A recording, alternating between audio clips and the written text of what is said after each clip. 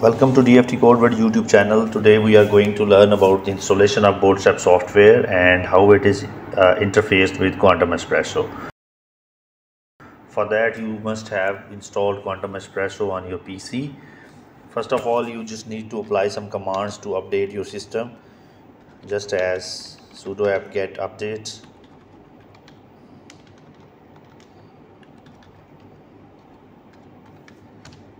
to update your system. Your system might be updated earlier but just to uh, recheck it just apply sudo apt-get update. And also the sudo apt-get upgrade. So system is already upgraded. Uh, you must have installed the python by applying sudo apt-get install python. So if python is already installed it will give you message that python is already the newest version. So as the gfortran so gfortran is also the newest version.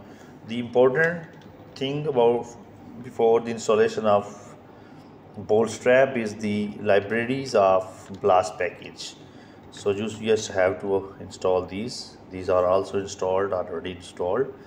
The newest version and the lapack libraries. Libraries of lapack.dev so these all are installed already installed in our pc so we just have to uh, download.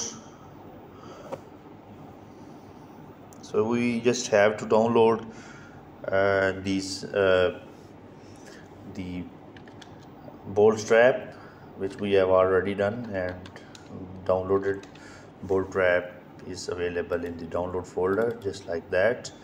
We simply need to move it to the design to the folder where we want to install it. For the current case we want to install it in the home directory.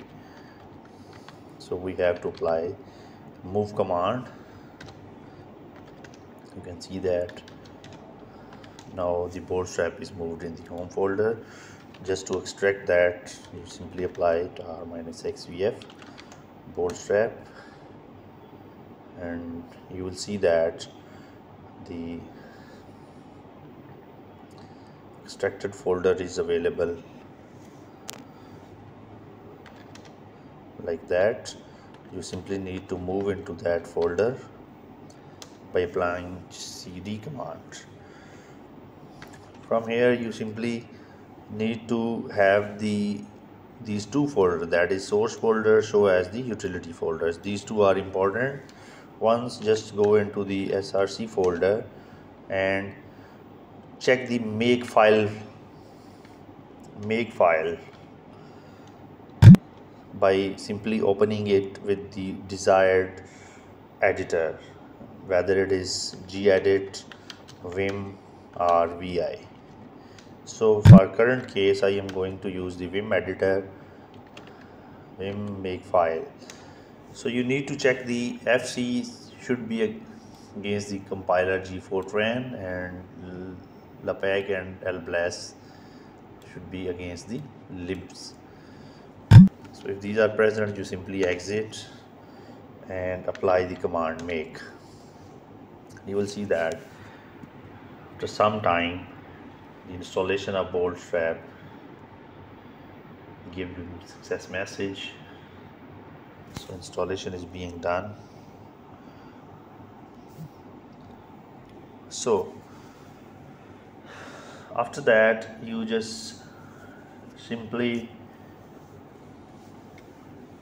go back and go to the utility folder and check there the available utilities those are the quantum espresso to BoltzTrap so our win to k to kvr from VASP to BoltzTrap so these all are uh, the utilities uh, to convert the input files from quantum espresso VASP and WIEN2k into the uh, bootstrap input files. So we just uh, have interfaced the quantum espresso and BoltzTrap so simply from here we can see that these utilities have the